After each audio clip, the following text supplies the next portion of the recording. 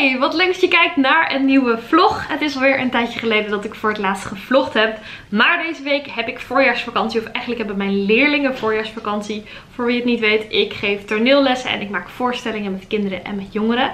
En omdat ze vakantie hebben, vroegen ze of ik misschien wilde vloggen in de vakantie. Toen dacht ik, hey, dat is eigenlijk best wel een leuk idee, dus dat is wat ik doe.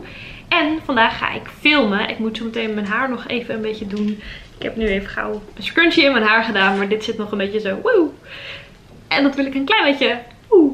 Snap je? Dus dat ga ik zo meteen nog even fixen voor ik echt ga filmen. Maar wat ik ga filmen vandaag heeft alles te maken met dit toffe pakketje wat ik kreeg van Most Cutest. Most Cutest is een webshop vol met schattige dingetjes. Je kan het al een beetje zien aan het kaartje wat erbij zat.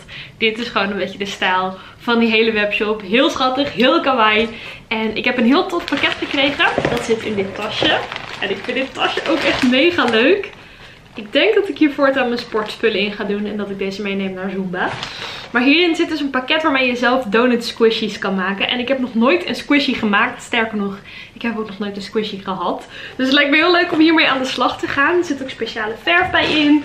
Nou ja, dat zie je allemaal in een speciale DIY video daarover. Maar er zitten nog veel meer leuke goodies in dit doosje. Zoals deze mega schattige stickers. Ik vind dat heel erg leuk, die stijl. Ik word er heel vrolijk van. En datzelfde kaartje zit er ook nog een keer blanco bij. Want op het andere kaartje staat een berichtje.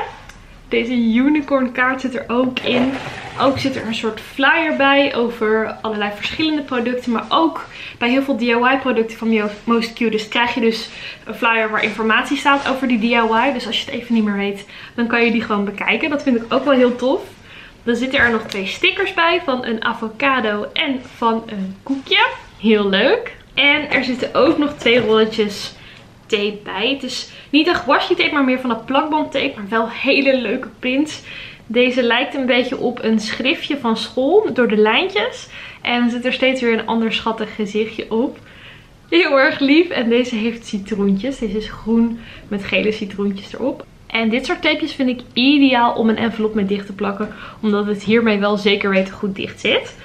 Dus ik heb er allemaal leuke extra goodies bij gekregen. Super tof. En het hele pakketje heb ik überhaupt ook van Most Cutest gekregen. Dus heel erg bedankt Most Cutest. Word je ook helemaal vrolijk van deze schattige stijl. Dan raad ik je absoluut aan om Mariette en haar schattige webshop te volgen op Instagram. En ook op YouTube heeft ze heel veel video's. Onder andere over de producten die je weer op haar webshop of in haar webshop kunt kopen. Dus als je dan denkt, oh het lijkt me leuk, maar hoe werkt het? Dan kun je daar ook een tutorial bekijken. Maar goed, ik ga dus zelf aan de slag vandaag. Ik heb er super veel zin in. Maar eerst nog even dit een beetje fixen. Ik hoop ook dat dit niet te veel ton in dezelfde achtergrond. Ah, we gaan het zien. Het is in ieder geval vrolijk. Dat is goed genoeg voor mij. Zo, zo vind ik mijn haar net even iets leuker. En ik heb nog steeds die scrunchie in, omdat ik aan de slag ga met verf. En ik wil dan niet dat al mijn haar in de verf komt te liggen, zeg maar. Dat, dat zou niet heel ideaal zijn. Kan ik wel weer experimenteren met een andere kleur. Dat zou ik wel weer leuk vinden. Maar ja, daar is dit niet te ver voor. Ook staat de lamp klaar. De camera en Jeroen zijn ook klaar. Yay! En ook de spullen hier voor de DIY liggen klaar. Speciale verf. Ik heb een placemat zodat de tafel niet gekleurd wordt. Stiften. Nee, hoe heet het? Het heet maar geen stiften. Kwasten. Wauw. En super leuk, maar Jeroen gaat me dus helpen met alle video's deze week. Dus daar ben ik heel blij mee. We gaan ook proberen om uh, iets mooiere audio toe te passen. Leuk, zin in. Oké, ik heb nu genoeg gekletst. Ik ga deze video opnemen. Ik ga zelf donut squishies maken. En dat doe ik niet zomaar. Dat doe ik met spulletjes die ik heb gekregen van Most Cutest. Zij verkopen gewoon complete sets waarmee je zelf die squishies kunt maken. In dit vet leuke tasje. Het filmen zit er inmiddels op. En één van de tubes verf die ik heb gebruikt, die is inmiddels helemaal leeg. En het resultaat, dat zie je in een video die denk ik op dit moment al op mijn kanaal staat. Misschien heb je het al gezien en heb je het nog niet gezien, dan zorg ik dat de DIY hier beneden in de beschrijving staat. We zijn dus klaar met filmen en ik heb nog een brief die op de bus moet. En de zon is gaan schijnen, dus die gaan we nu even posten.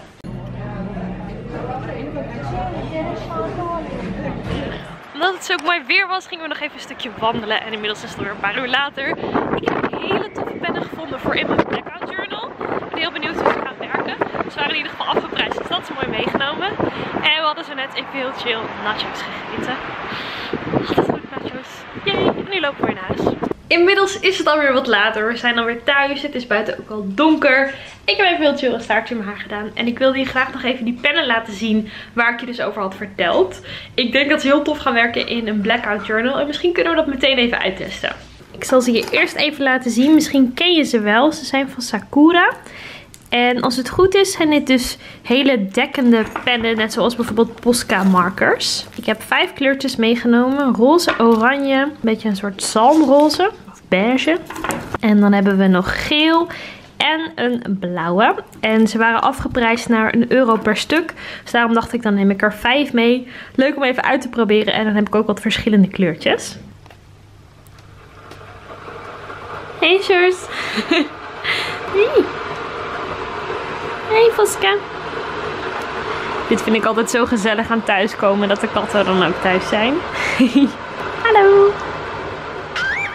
Dit is mijn Blackout Journal. Ik heb hem gekregen van Paper District. En mocht je ooit iets willen bestellen bij Paper District met de code Elise Vrienden krijg je 10% korting. En deze journal, dit journal, heeft dus zwarte bladzijden met grijze stipjes en een hele gave zijkant, goud, net zoals het maatje op de voorkant. En achterin mijn journal heb ik altijd een testpagina en daar wil ik ook dus deze pennen even testen. Ik heb hier al wat verschillende dingen getest. Ook iets wat geen kleur afgaf, dat ziet er echt heel stom uit zo. En de Jelly Roll Gel pennen vind ik heel fijn. Daar wil ik er heel graag meer van voor in dit journal. Maar voor nu ga ik dus deze pennen ook even testen op deze bladzijde. Misschien moet ik even iets hebben om mijn camera op te zetten. Want ik kan natuurlijk niet filmen en die pen uit de verpakking halen tegelijk. Vaske gaat van de tafel af. Ik heb hier als eerste dus de blauwe pen. Er zit hier ook een beginnetje op. Ik kan hem niet vinden. Ik ga er even een schaar bij pakken. Deze pennen of stiften, ik weet eigenlijk niet zo goed hoe ik ze moet noemen. Die zag ik dus alleen maar individueel verpakt. Dus niet in een set of zo. Misschien bestaan die wel, maar niet waar ik ze kocht. En ik kocht ze bij hobbywinkel De Duif. Hobby Complete De Duif geloof ik dat het heet. Misschien ken je die wel van de beurzen, want daar staan ze ook heel vaak met hun winkel. Maar die winkel die zit dus hier gewoon in Leeuwarden. Oké, dit is de blauwe variant. Als het goed is hoef je deze punt... Nou, Vaske, ga eens van de tafel af. Nee, kom. Als het goed is, hoef je deze punt dus niet eerst in te drukken zoals bij een Posca pen wel moet. We kunnen hem meteen gebruiken. Ik ben heel benieuwd. Hmm. Tot nu toe. Oh, jawel. We hebben ook een heel nieuwsgierige kat. Kleine dotje. Oké, van bovenaf zie je de kleur wat beter. Ik moet zeggen, als je hem zo schuin houdt, dan zie je het in het echt iets minder. Maar zo zie je het wel goed. Ze hebben allemaal een fine point van 1 mm, als ik het goed zeg. En het is dus een permapak. Ik kende het nog niet, maar ze zijn dus van Sakura. Net zoals de Jelly Rolls en ook de Micron Fine Liners. Gaan we deze ook even testen. Voor mijn gevoel zijn ze iets lichter wanneer je net hebt geschreven. En worden ze dus iets feller naarmate je de kleur even laat rusten. Dan doen ze het op camera eigenlijk best goed. Je kunt de kleur dus ook iets feller maken door twee keer over hetzelfde stukje heen te gaan. Dan moet ik zeggen dat het op camera bijna feller lijkt dan in het echt. En ze hebben een beetje, ja, hoe noem je dat, de textuur van een krijtmarker. Van zo'n krijtstift. Snap je wat ik bedoel? Een beetje dat poederige. Zo zie je nog even alle kleuren bij elkaar. En nogmaals, het lijkt bijna iets feller op camera dan in het echt. En helaas zijn ze ook niet net zo fel als die jelly rolls. Die onderste twee zijn soufflé jelly rolls. En die bovenste is volgens mij van zo'n Moonlight um, serie. Ja, die werken echt te gek op dit papier.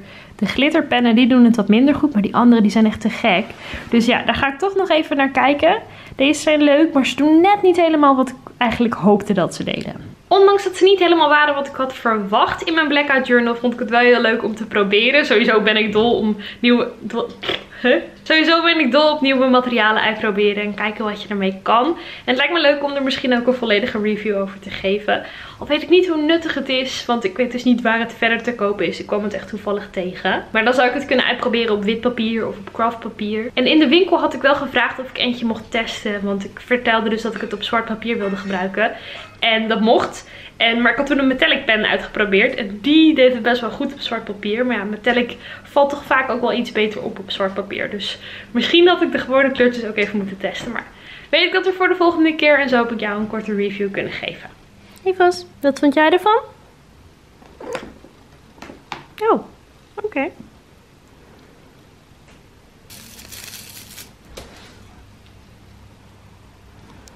Nope. Misschien dat deze werkt. Deze vindt ze echt super leuk. Dit is haar speeltje sinds dag 1 dat ze hier bij ons woont. En ik weet niet of je het op camera kunt zien. Maar er zitten allemaal...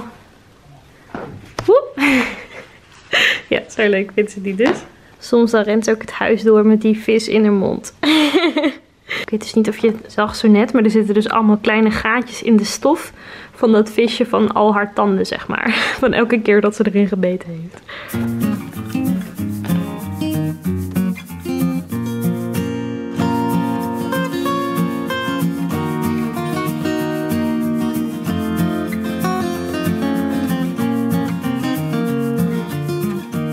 Dan is dit alweer het einde van de vlog. Ik ga lekker met mijn favoriete Tony-reep en thee en Jeroen op de bank zitten. En we gaan nog even een paar spelletjes spelen. Ik wil jou in ieder geval bedanken voor het kijken. En ik ben benieuwd, vind je het leuk als ik vaker een vlog plaats? Laat het me weten in de comments hier beneden. Ook als je liever iets onder ziet, laat me dan weten wat je graag wil zien. Voor nu heel erg bedankt en tot de volgende keer. Doei! Oké, bonus shot omdat je er zo lief bij liggen.